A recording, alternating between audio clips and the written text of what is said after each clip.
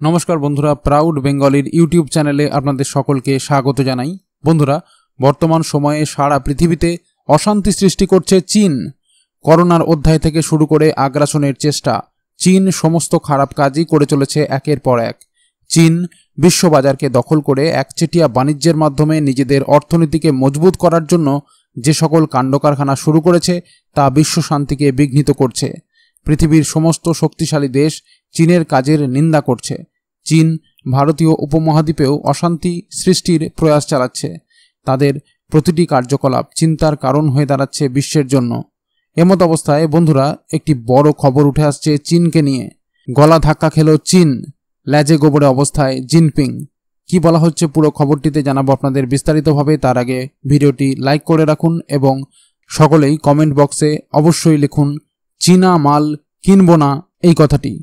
তো বন্ধুরা, এবার আমরা বিস্তারিতভাবে জেনে নেব পুরো খবরটি। এখানে বলা হচ্ছে, রানী দ্বিতীয় এলিজাবেথের শেষকৃত্যে থাকবে না চীনের কোনো সরকারি প্রতিনিধি দল। ব্রিটিশ সংবাদ সংস্থা বিবিসি এই খবর জানিয়ে বলেছে, পার্লামেন্টের নিম্নকক্ষ হাউস অব কমন্সের স্পিকার লিন্ডসে হোয়েলে সোমবার পার্লামেন্টের ওয়েস্টমিনিস্টার হলে রানীর শেষকৃত্য অনুষ্ঠানে চীনা প্রতিনিধি দলের যোগদানের আবেদন খারিজ করেছেন। তবে প্রকাশিত সংবাদে বলা হয়েছে, সোমবারের শেষকৃত্যে হাজির থাকতে পারেন কেবলমাত্র চীনের vice president Wang Qishan.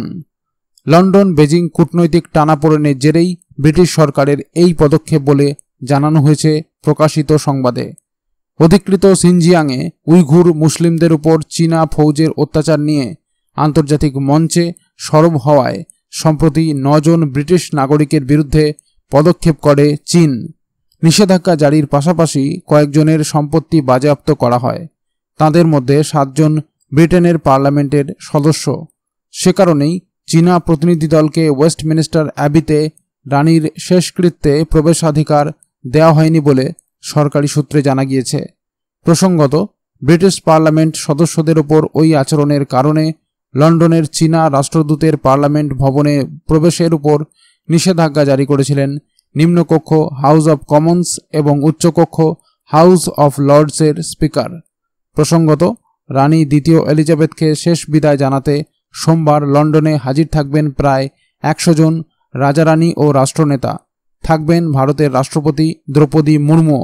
পশ্চিম লন্ডনের এক অজ্ঞাত স্থান থেকে তাদের সকলকে ওয়েস্টমিনিস্টার অ্যাবিতে আনার জন্য থাকছে বিশেষ বাসের ব্যবস্থা।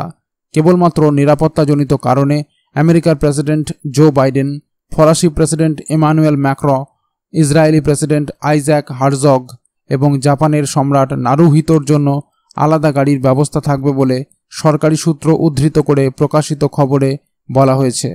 তো বন্ধুরা, এই ছিল পুরো খবর। খবরটি যদি গুরুত্বপূর্ণ মনে হয়, তাহলে অবশ্যই লাইক এবং শেয়ার করুন। আর যাওয়ার আগে সকলেই কমেন্ট বক্সে অবশ্যই লিখুন, চীনা মাল কিনবো না, এই কথাটি। তো বন্ধুরা এখনকার মতো এই পর্যন্তই। সবাই ভালো থাকবেন। অসংখ্য ধন্যবাদ।